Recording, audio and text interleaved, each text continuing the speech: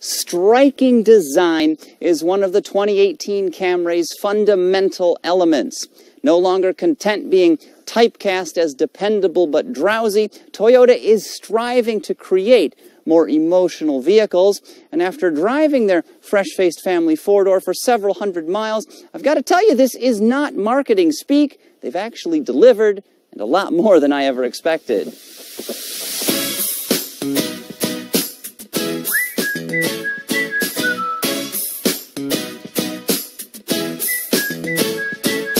Completely redesigned, fully overhauled, totally updated. This is the first all-new Camry in 35 years. The only thing that carries over from its predecessor is the badge. Sharing fundamental underpinnings with the Prius hybrid, this sedan rides atop the Toyota New Global Architecture, TNGA for short. Accordingly, its torsional rigidity has been increased by 30% and it gains double wishbone rear suspension. Thanks to a focus on dynamics and its lower center of gravity, this car drives far better than any Camry before. It also comes standard with advanced driver assistance features and is more fuel efficient and refined. But back to styling, which I suspect Toyota hopes you'll find assertive and interesting since they're striving to banish the boring. Up front, there's a bold face and available LED headlamps. Surprisingly, that grille varies depending on the model you get. On standard versions, like this fairly basic LE car, you get a wide, ribbed affair. Sportier SE and XSEs receive a mesh treatment that I actually find considerably more attractive. Add them all up, and between the conventional and hybrid models, I count a whopping 10 variants of the car, which is kind of crazy, but Toyota wants to offer something for everyone. 19 inch wheels are available on a Camry for the first time ever, ditto for quad exhaust tips, both of which are standard on XSE models. You can also get a blacked out roof and even a red interior. How sassy! This styling assertiveness continues inside where the cabin is tasteful and flowing. There are soft plastics where you expect to find them, and thanks to trim A-pillars and a hood that's nearly two inches lower than its predecessors, forward visibility is unhindered. Though not everything is perfect, there's some bargain basement looking plastic on the console, and of course some odd trim. Also, the center stack is a mishmash of fonts and button designs. Some consistency here would have made things look a lot richer. Also, Toyota still refuses to offer either Apple CarPlay or Android Auto. Instead, they're pushing their own infotainment system, which they claim provides a more integrated experience. Mm-hmm. Taller folks are sure to appreciate the back seat, which is roomy in every dimension. Also, the trunk is huge at up to 15.1 cubic feet. The lid now features redesigned hinges so it opens farther forward, meaning you're less likely to bang your head while loading items.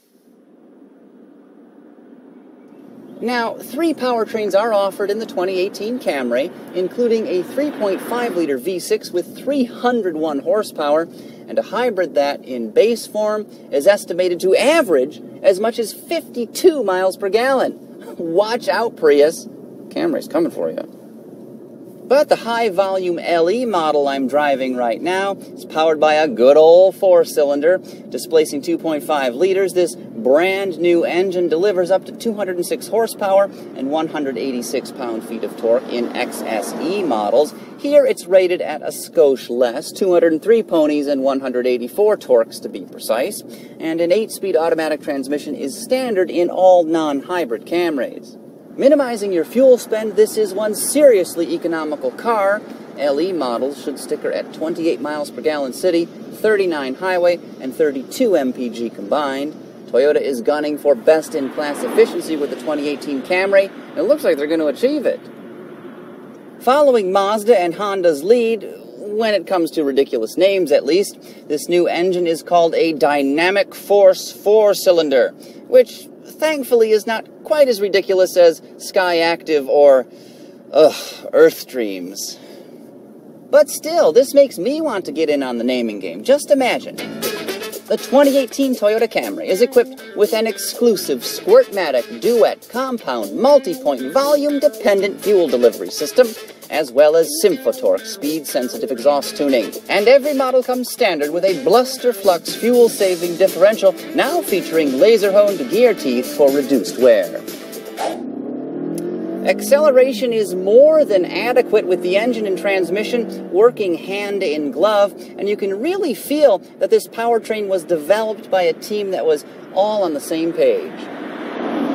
This four-banger is extremely refined and offers a power band that's broad, which means you don't need wide open throttle just to get moving. Shifts are also quick and well timed with no bad habits or misbehavior noticed during my testing. I also briefly sampled a V6 powered car, and it was rocket fast. Smooth and snarly, that thing moved. But curiously, only about 6% of Camry customers opt for the V6. That's how dominant the four banger is.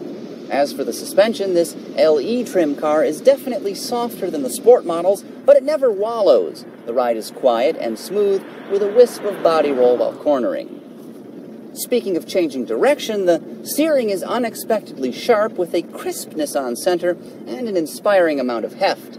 Simply put, a Camry has never felt so good to drive. Reducing your stress, Toyota Safety Sense P is standard in every one of these 2018 cars. Now, this suite of advanced driver assistance technologies includes things like adaptive cruise control, pre collision braking, and automatic high beams.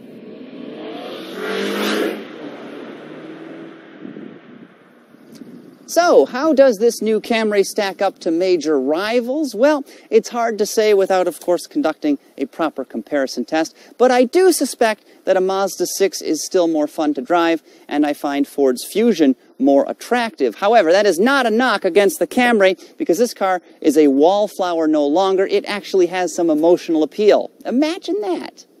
The 2018 model still provides everything drivers expect in a Toyota sedan. You've got roominess, efficiency, comfort, and of course reliability, but it also offers dramatically more style